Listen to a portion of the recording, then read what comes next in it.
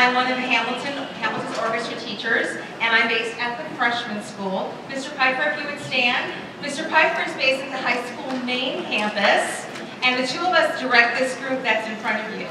It is called the Hamilton Rock Orchestra, also known as Hamrock or HRO, um, so that there aren't quite as many syllables. We wanted the current eighth grade students get a chance to hear this group play because you are eligible to join this group as ninth graders. This group is made up of 9th, 10th, 11th, and 12th graders who play orchestra at the high school main campus and freshman campus. Uh, this group meets on Tuesdays after school at the main campus orchestra room beginning in September. Uh, we're going to begin our part of the concert tonight with a well-known Christmas classic, first recorded by Bobby Helms in 1957. Please enjoy Jingle Bell Rock.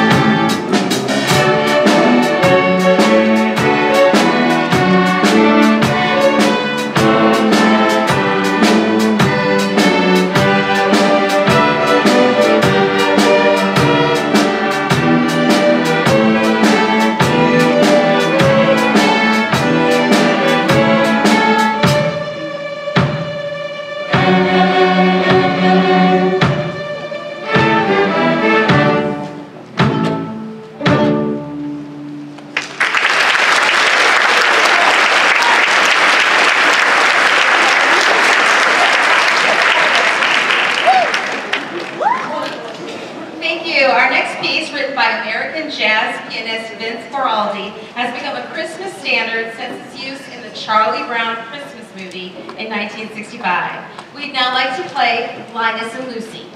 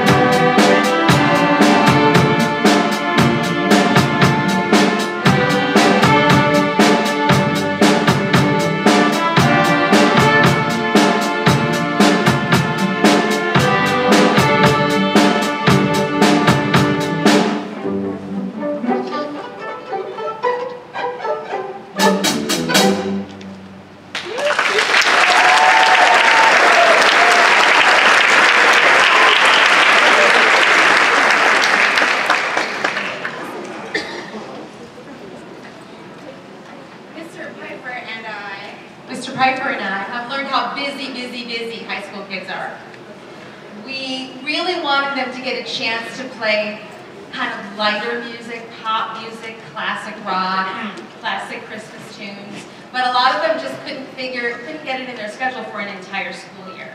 So we decided, designed this group to be split into three parts. So we had a fall concert, and they played a completely different set of music.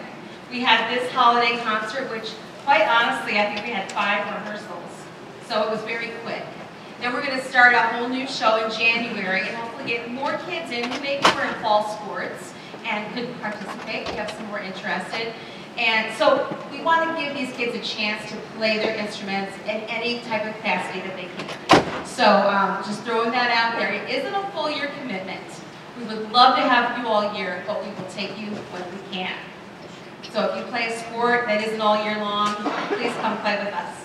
Um, now we do a lot of classic tunes, and this last song is a classic 80s hard rock anthem by the Swedish band Europe. You figured it out yet? The Final Countdown.